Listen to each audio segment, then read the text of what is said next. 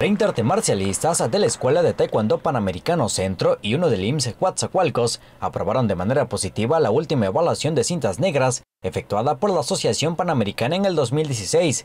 Examen hecho en el domo del Colegio Buckingham de esta ciudad, en donde por más de tres horas los alumnos presentarían formas a rompimiento de tablas, defensa personal y combates ante siete sinodales, quienes darían el visto bueno a las acciones mostradas dentro del tatami.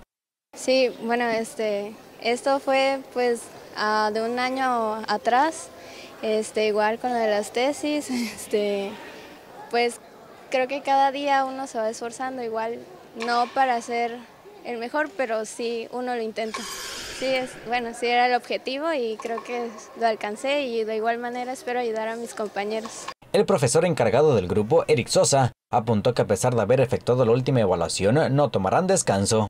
Satisfechos, contentos eh, con, eh, te digo, con el cierre de, exámenes, ya que nunca habíamos tenido tanto alumnado en, nuestra asociación. Hay asociaciones completas con, eh, con, varias escuelas que yo creo que no tienen ni la mitad de, la, gente que hizo examen hoy para negras. Sí, es, ahorita lo que queda es, es trabajar duro, ¿no? Para obviamente esa cinta que tienen, eh, pues demostrar que eh, realmente que, son cintas negras, ¿no?